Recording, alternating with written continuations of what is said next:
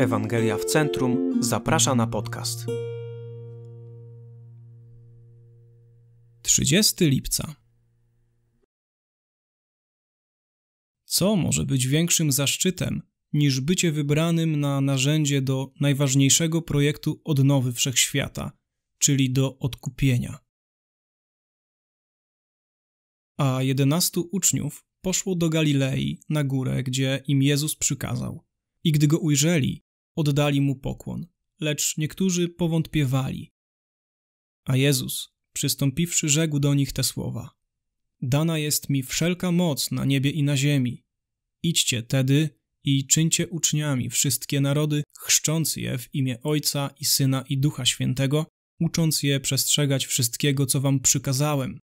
A oto ja jestem z wami po wszystkie dni, aż do skończenia świata. Posłannictwo Chrystusa skierowane do uczniów jest też jego przykazaniem dla Kościoła i planem dla każdego wierzącego człowieka. Nikt nie został wybrany tylko po to, by przyjąć odkupieńcze dzieło Jego Królestwa. Nie, każdy, kto przyjmuje, został również posłany jako narzędzie poszerzania Królestwa.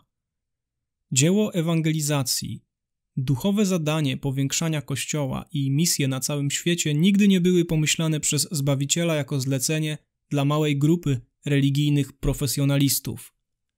Czy Bóg oddziela niektórych ludzi tylko do służby? Oczywiście, że tak. Ale ich rolą nie jest tylko wykonywanie owej służby, lecz także mobilizowanie, szkolenie i wyposażanie wszystkich Bożych ludzi do szerzenia wspaniałej Bożej łaski – co jest wielkim zaszczytem i przywilejem wszędzie, gdzie się znajdują. Bardzo smutne jest to, że tak wielu Bożych ludzi spędza całe życie, szukając dla siebie jakiegoś ważnego zadania, w które mogliby się zaangażować, a zostali przecież wybrani, by stać się elementem najpotężniejszego dzieła przemiany w historii wszechświata.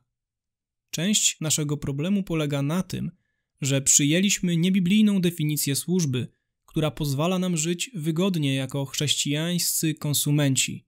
Postrzegamy służbę w następujący sposób. Każdy ma swoje małe prywatne życie, z którego na chwilę wychodzimy, by służyć, a gdy już owa inicjatywa się skończy, wracamy do swojego życia.